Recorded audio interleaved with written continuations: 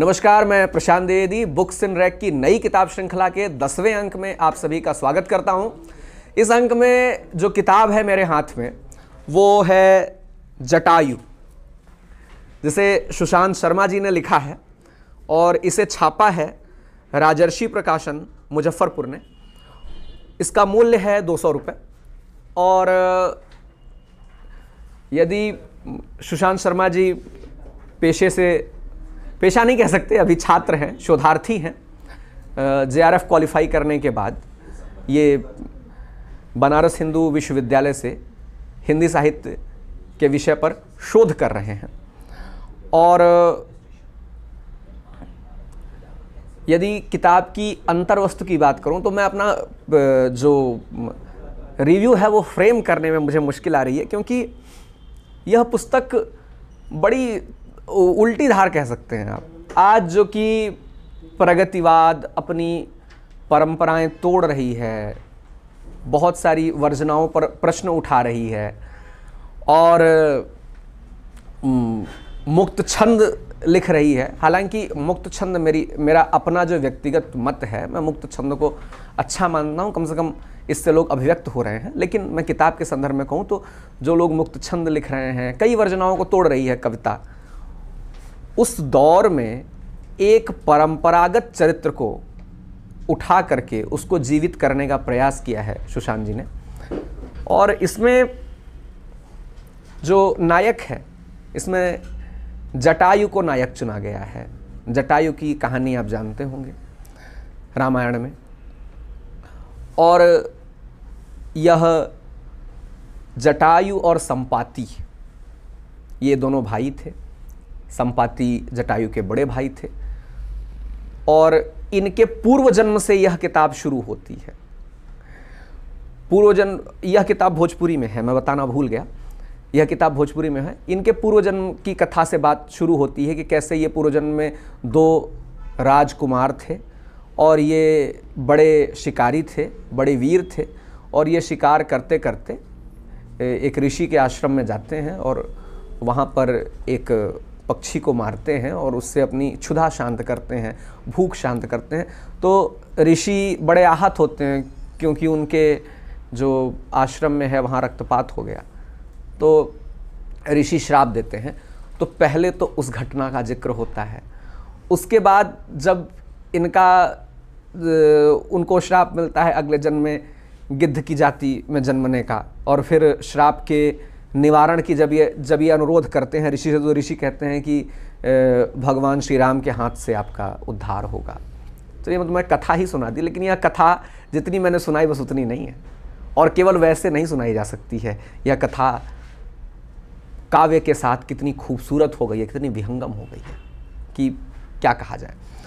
और उसके बाद जब ये गिद्ध के रूप में जन्मते हैं दोनों भाई तो यह जो सूर्य का रथ हाँकने वाले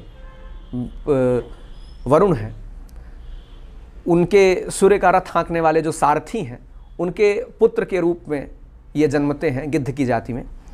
और इन लोगों में एक प्रतियोगिता होती है सूर्य का, सूर्य को छूने की, जिसमें कि जटायु आधे रास्ते लौट आते हैं और संपाति बहुत नज़दीक पहुंचकर अपने पंख जला करके फिर गिर पड़ते हैं। और उसके आगे यह कहानी बढ़ती है तो जटायु और दशरथ की मित्रता होती है, राजा दशरथ की। उसके बाद राजा दशरथ और कौशल्या का कैसे मिलना होता है, उसकी होती है। उसके बाद सीता हरण के प्रसंग पर कैसे जटायु अपनी, अपने शौर्य का प्रदर्शन करते हैं।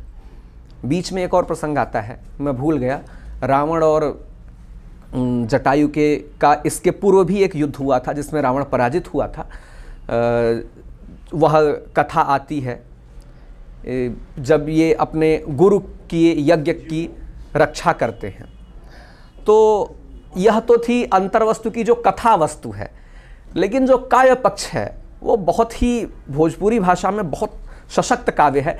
अब तक जो लोग भोजपुरी भाषा को केवल यह समझते आए हैं जो बहुत आ, मतलब अश्लील तरह के गाने लिखने वाले जो लोग हैं उन केवल उनके फ्रेम से केवल उनके चश्मे से देखते आए हैं उनको तो ये किताब ज़रूर पढ़नी चाहिए। और काव्य की बात करें तो ये है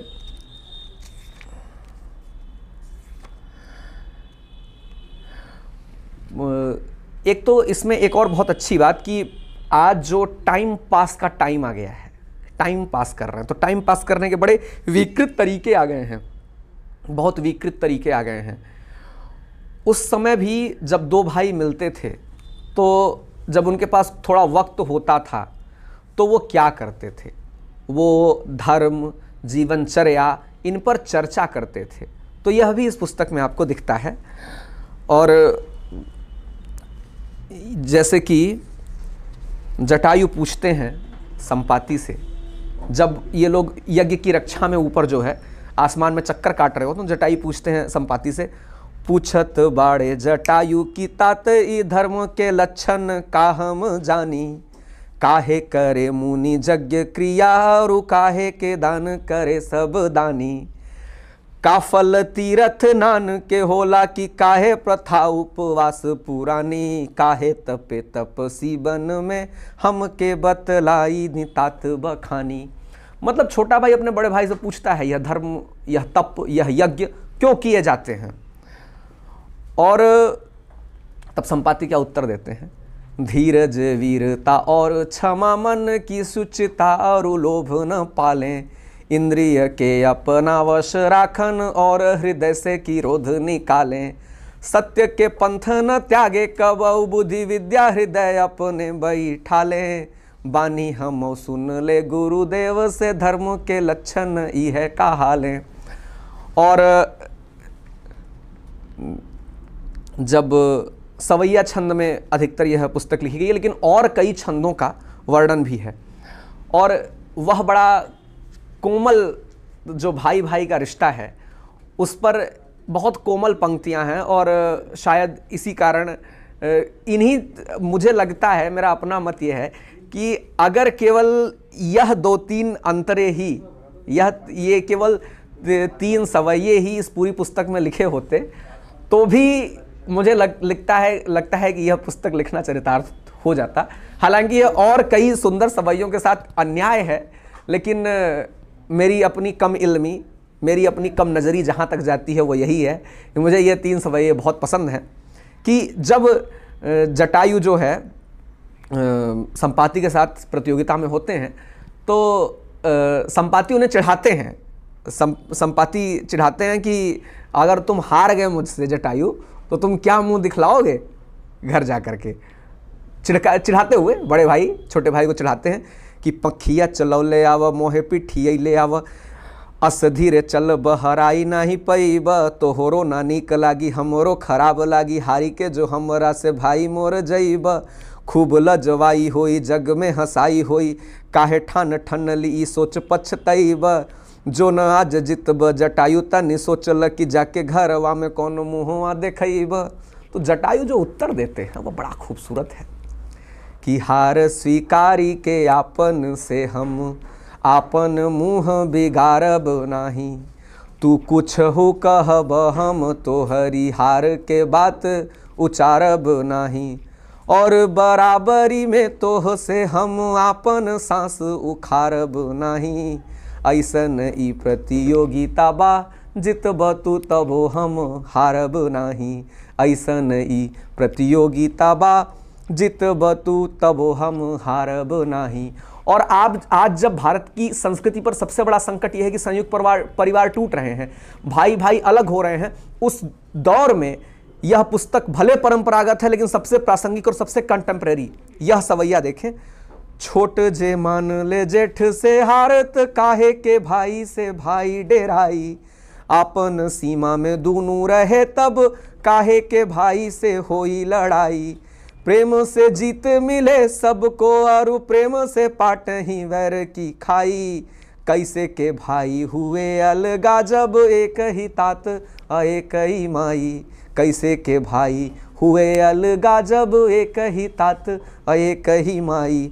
एक ही पालत तात अरु एक ही गोद खिलावत जाई। एक ही हाथ को झूला झूलावत, दूध पियावत, एक ही गाई। एक ही भाव से प्रेम करे, कछु अंतर न समझे केहू पाई वेद पुराण बताव तू है कि मिले जग में न सहोदर भाई। वेद पुराण बताव तू है कि मिले जग में न सहोदर भाई। तो रिव्यू काफ़ी लंबा हो गया क्योंकि यह पुस्तक वाकई डूब जाने लायक लायक है।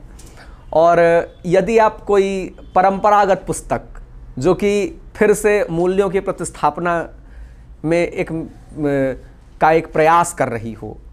और भोजपुरी साहित्य को अगर आप एक अलग एंगल से देखना पढ़ना चाहते हैं तो पहले तो सुशांत शर्मा के अन्य गीतों को भी सुने और यह पुस्तक आप ज़रूर पढ़ें। और ख़ास तौर पर जिन्होंने भोजपुरी को केवल अश्लील गानों तक देखा है, वो इस पुस्तक में, मैं वह तो आपके ऊपर छोड़ता हूँ, आप पुस्तक पढ़ करके ही जाने।